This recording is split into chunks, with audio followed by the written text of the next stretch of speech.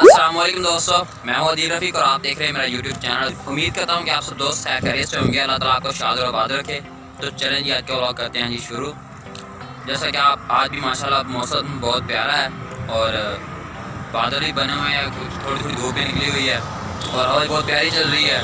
तो आज हम मौजूद हैं शौकत गार्डन, जो कि हमारा जो सिटी खान का शरीफ है, उसका one of the best garden जिसे हम कह सकते हैं। आज हम वहाँ मौजूद हैं और आज आपको इधर इसकी कुछ इन्फॉर्मेशन देते हैं और ये एक शादी हाल भी है और एक गार्डन भी है। ये यहाँ पे जैसा भी इंतज़ाम हुए हैं एवरीथिंग ओके तो आज फिर मेरे साथ मेरे दो दोस्त हैं, मौजूद हैं। तो आज फिर आपको इनसे मुलाकात कराते हैं और कुछ इसके बारे में इंफॉर्मेशन दिलवाते हैं आपको। तो चलें, ये है कि हमारे दोस्त। और अब्दुल्ला भाई जो आपको कुछ इन्फॉर्मेशन देंगे तो चलें जी अभी अब्दुल्ला भाई से आपकी गुफ्तु कराते हैं आपको इन्फॉर्मेशन दिलवाते हैं इनसे। और आपको इतना प्यारा ये गार्डन है ना, इसका आपको मुकम्मल व्यू दिखाते हैं आज।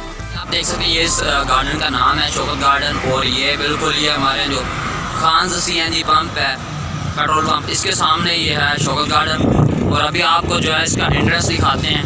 ये देखें, चलें। आपको एक जो करीब से इसका एंट्रेंस दिखाते हैं।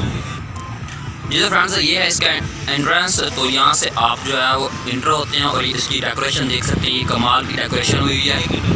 तो ये एंट्रेंस है। एंट्रेंस के जो इन्होंने एक किस्म के डोज बनाए हुए ना, ये एक किस्म डोज ही हैं तो वो तीन चार हैं। तो ये पहला समझे एंट्रेंस है, और अभी जो है आप अब्दुल्ला भाई कुछ आपकी इन्फॉर्मेशन देंगे। तो चलिए आप अब्दुल्ला भाई से करें उसके बाद मिलते हैं आपसे। जैसे कि आपको दिल मैंने बताया कि मैंने अब्दुल्ला आई फ्रॉम बावलपुर तो आइए, ये मैं इसका, इस गार्डन के बारे में आपको थोड़ी सी इन्फॉर्मेशन देता हूँ। ये जो है ना, इसकी दूसरी इंटरेस्ट है, और चांस में आ रहा हूँ। और मैं इसका आपको पूरा का पूरा व्यू दिखाता हूँ। देखिए, ये इसका फ़र्स्ट व्यू है, जो मैं आपको दिखा रहा हूँ। यहाँ पे काफ़ी किस्म के प्लांट्स लगे हुए हैं, और डिफरेंट टाइप के यहाँ पे प्लांट्स हैं। फ्लावर्स भी लगे हुए हैं उन पर ये मैं आपको इसका व्यू इसके साथ ही बिल्कुल ये मेन रोड के ऊपर ही है। हाँ हाँ। बिल्कुल मेन रोड ऊपर ही है ये। ये देखेंगे इसका बना हुआ है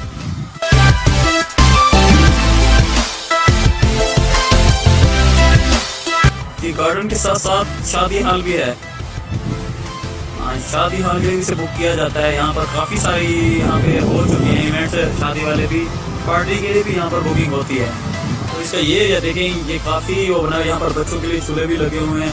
और इसकी एक एंट्रेंस नहीं बल्कि चार एंट्रेंस हैं। यहाँ पर एट ए टाइम दो से तीन शादियाँ हो सकती हैं। मतलब यहाँ पे तीन से चार इवेंट्स इजीली हो सकते हैं। और उसकी जो मोस्ट जो सेंटर वाली इंटरेस्ट बनाई जा रही है, वो अभी उस पर काम हो रहा है।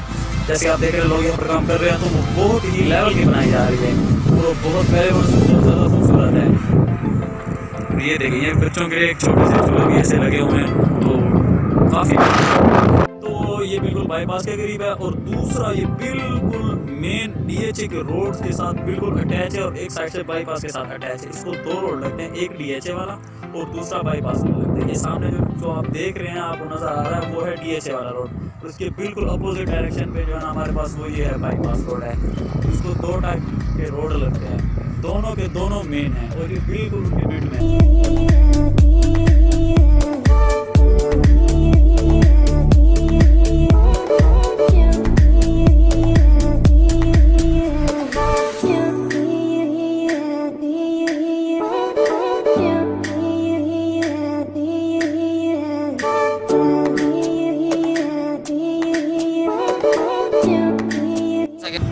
शौकत गार्डन के बारे में कंप्लीट इन्फॉर्मेशन अब्दुल्ला भाई ने दी है और इसका एक कंप्लीट व्यू भी दिखा दिया है। तो चलें आज का व्लॉग यहीं पे करते हैं एंड अगर आज आप लोगों को आज का व्लॉग पसंद है तो इसे लाइक करें कमेंट करें और दोस्तों साथ भी शेयर कर दें और चैनल को ज़रूर सब्सक्राइब कर दें।